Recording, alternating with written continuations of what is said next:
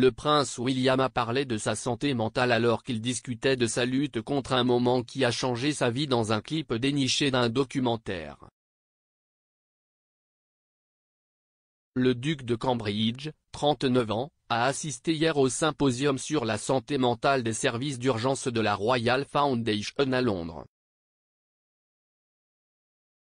Le duc a annoncé le radeau Blue Light Together de soutien en santé mentale pour les services d'urgence. Le programme de soutien est la dernière assistance fournie aux travailleurs de première ligne ces dernières années par la Royal Foundation, le véhicule caritatif du duc et de la duchesse de Cambridge. Les chefs des services d'urgence, les travailleurs de première ligne, les décideurs et les universitaires ont tous convergé pour le symposium, qui comprenait une table ronde sur la santé mentale.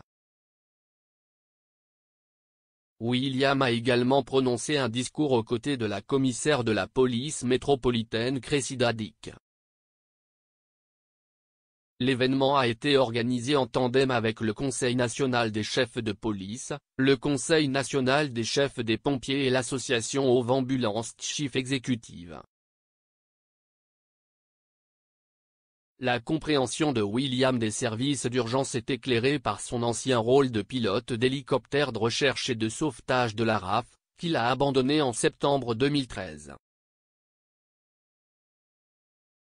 Le duc a parlé de son propre problème de santé mentale et de son moment qui a changé sa vie dans un documentaire de la BBC l'année dernière. Dans Football, Prince William and Mental Health, le futur roi s'est concentré sur le beau jeu comme moyen d'amener les hommes à s'ouvrir sur leur santé mentale.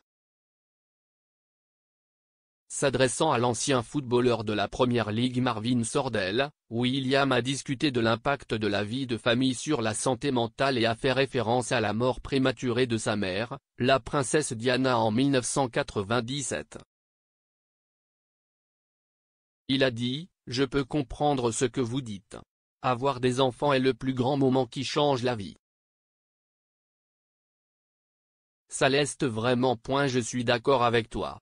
Je pense que lorsque vous avez vécu quelque chose de traumatisant dans la vie, comme vous le dites, votre père n'étant pas là, ma mère mourant quand j'étais plus jeune, vos émotions reviennent à pas de géant.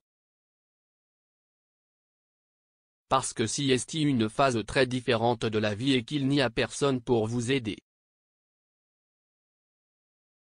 Je l'ai certainement trouvé parfois, très écrasant. Point Sordel, un ancien attaquant anglais des moins de 21 ans, a pris sa retraite du football en 2019 à l'âge de 28 ans, soulignant que sa santé mentale était un facteur majeur dans sa décision. L'attaquant, qui avait joué pour l'équipe GB aux Jeux Olympiques, a mis fin à son contrat avec l'équipe de Ligue 1 Burton Albion. Sordel, qui a fait 300 apparitions dans sa carrière, avait déjà lutté contre la dépression et avait tenté de se suicider. En annonçant sa retraite, il a écrit sur Twitter que le côté laid du jeu avait été extrêmement préjudiciable à sa santé mentale. Sordel a affirmé avoir été victime de racisme à plusieurs reprises et a déclaré que l'intimidation, la manipulation et la violence verbale dans le football avaient laissé une tache de saleté sur le jeu. S'adressant à William, président de la Football Association, il a demandé au duc vers qui il se tournait pour obtenir de l'aide en cas de besoin.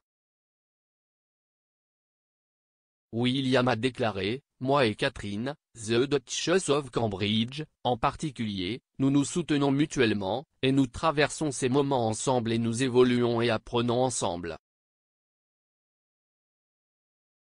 Mais je suis d'accord avec vous, je pense qu'émotionnellement, les choses arrivent à l'improviste auquel vous ne vous attendez jamais ou que vous pensez peut-être avoir géré. Donc, je peux tout à fait comprendre ce que vous dites au sujet des enfants qui arrivent.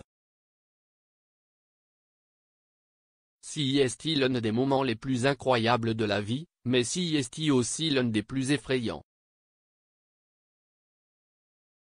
Point le duc et la duchesse de Cambridge ont trois enfants ensemble, le prince George, la princesse Charlotte et le prince Louis.